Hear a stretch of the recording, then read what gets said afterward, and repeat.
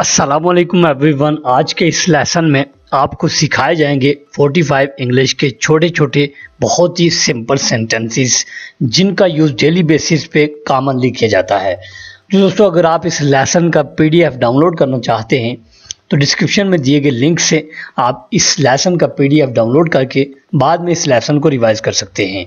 तो दोस्तों, बिना वक्त ज़ाय किए आज का लेसन शुरू करते हैं। हमारे पास फ़र्स्ट सेंटेंस है हसद मत करो। इसको हम इंग्लिश में बोलेंगे don't be jealous don't be jealous यहाँ पे हम डू नॉट को शॉर्ट करके डोंट पढ़ेंगे। डोंट बी जेलस मतलब कि हसद मत करो। जिद मत करो। Don't be stubborn don't be stubborn इस वर्ड को हम स्टबन बोलेंगे। स्टबन डोंट बी स्टबन जालम मत बनो। Don't be cruel. Don't be cruel. Cruel mean जालम। गुस्सा मत करो। Don't be angry. Don't be angry. Angry mean गुस्सा करना। Don't be angry. डरो मत। Don't be afraid. परेशान मत हो। Don't be upset. Don't be upset गलती मत करो. Don't make a mistake don't make a mistake यहाँ पे हम मिस्टेक के साथ मेक का यूज़ करेंगे. डोंट मेक अ मिस्टेक बहाना मत बनाओ. Don't make an excuse don't make an excuse excuse का मतलब होता है बहाना बनाना, बहाना करना. तो यहाँ पे हम पॉजिटिव वर्ब मेक का यूज़ करेंगे, उससे पहले हम आर्टिकल एन का यूज़ करेंगे। डोंट मेक एन एक्सक्यूज़ रुक रुक कर मत बोलो। Don't stammer don't stammer stammer का मतलब होता है, जब कोई बंदा, जब कोई आदमी रुक रुक कर अटक अटक कर बोलता है तो उसको हम स्टेमर बोलते हैं। डोंट स्टेमर मीन के रुक रुक कर या अटक अटक कर मत बोलो। उससे होशियार रहो। Beware of him beware of him table पर on the table on the table जब भी कोई चीज़ टेबल के ऊपर पड़ी हो तो हम कह सकते हैं कि this thing is on the table जैसे कि cup is on the table cup जो है, वो टेबल के ऊपर है. टेबल के नीचे under the table under the table ये दोनों एक दूसरे के ऑपोजिट हैं. अगर कोई चीज़ टेबल के ऊपर हो तो ऑन द टेबल अगर नीचे हो तो अंडर द टेबल टेबल के पास near the table near the table table के पीछे behind the table behind the table behind का मतलब होता है पीछे बिहाइंड द टेबल वापस जाओ गो बैक गो बैक वापिस आओ कम बैक कम बैक झूठ मत बोलो, डोंट लाई डोंट लाई आप लाए से पहले टेल अ लाए का यूज़ भी कर सकते हैं। डोंट टेल अ लाए झूठे मत बनो, don't be a liar don't be a liar liar में झूठ बोलने वाला।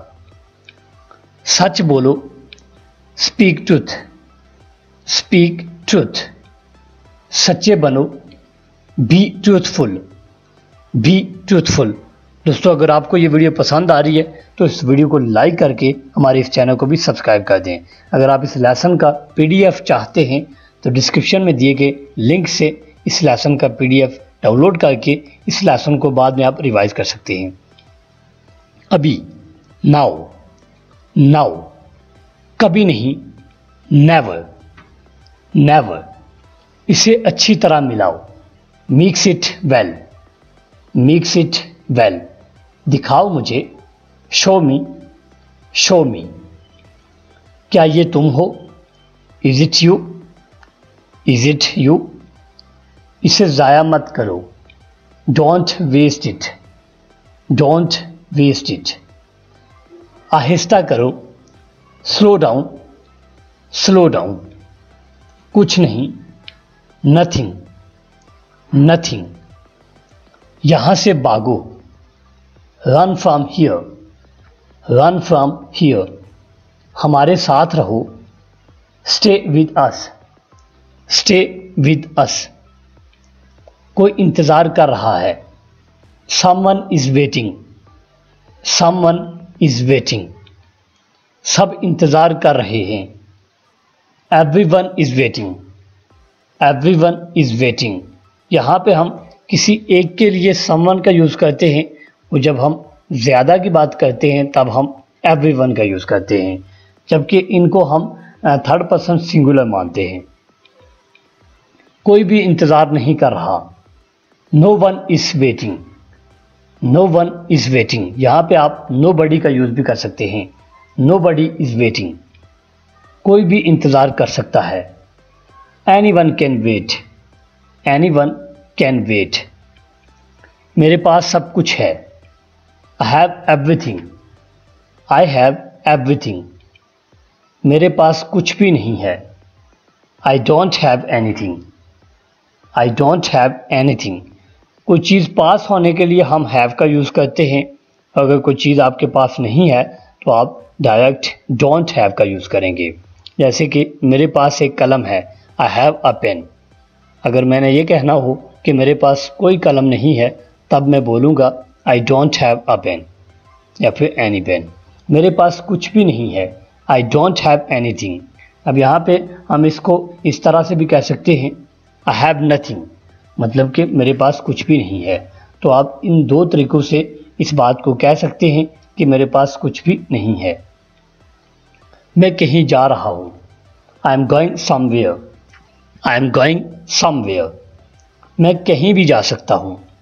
I can go anywhere I can go anywhere कोई नहीं है। देर इज़ नो वन मतलब कि यहाँ कोई नहीं है। देर इज़ नो वन या फिर नो बडी कुछ नहीं है। There is nothing there is nothing कहीं जाओ। गो समवेयर गो समवेयर कुछ करो। डू समथिंग डू समथिंग क्या कहना है? What to say what to say कोई भी इंतज़ार कर सकता है। Anyone can wait anyone can wait दोस्तों, उम्मीद करता हूँ आज के इस लेसन से आपने कुछ नया सीखा होगा।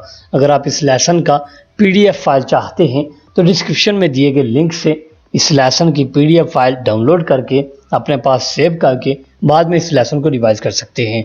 तो दोस्तों, अगर आपको ये लेसन पसंद आया तो इस वीडियो को लाइक करके चैनल को भी सब्सक्राइब कर दें। तो इंशाल्लाह मिलते हैं किसी नई वीडियो के साथ। तब तक के लिए गुड बाय टेक केयर